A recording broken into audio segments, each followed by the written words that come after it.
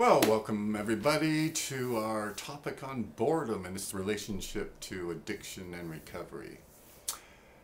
Last week we talked about the actual drug experience as a solution to boredom. And this week we'll talk about the drug lifestyle as a solution to boredom. And there are many common, uh, there's sort of common principles involved in the lifestyle.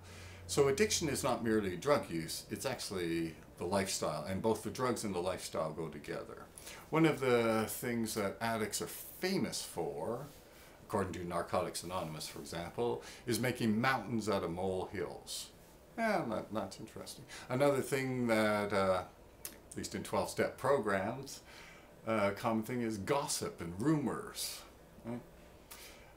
A common thing, if you remember from your time at uh, the Sunshine Coast Health Center, uh, maybe you experienced this. Uh, a lot of the fellows are starting to get bored, so they will go out of their way to make things exciting.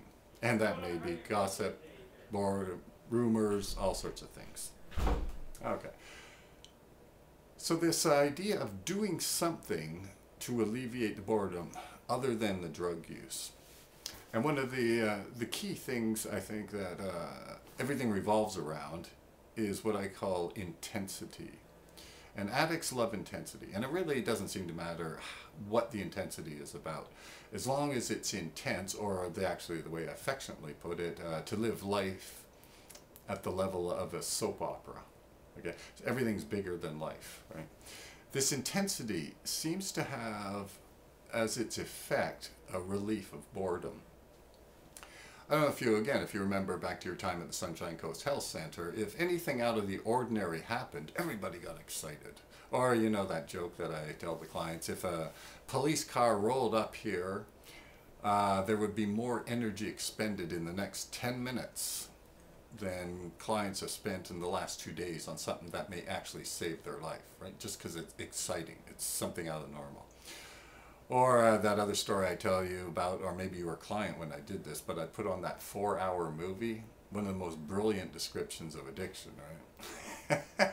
but no car chases, no one gets shot, nah, just nothing's happening, just a bunch of drunks sitting around talking, and oh geez, almost had a riot here within an hour, right? The guys were so bored. So these, uh, this idea of action, things have to go on. I mean, it's so fundamental to the addiction. I mean, so many of the clients here talk about whatever they did in, in addiction, they did it because it was a rush, right? This whole excitement avenue. This is the that intense lifestyle that I'm talking about. So addicts are famous for using this intense lifestyle as a solution to what they're feeling, which is generally boredom. If there's no adrenaline rush, if nothing's really happening, uh, someone with an addiction problem generally tends to get bored very quickly. Okay, so that's this week's uh, little talk on boredom, and we'll be back next week, and uh, we'll start looking at some uh, solutions then.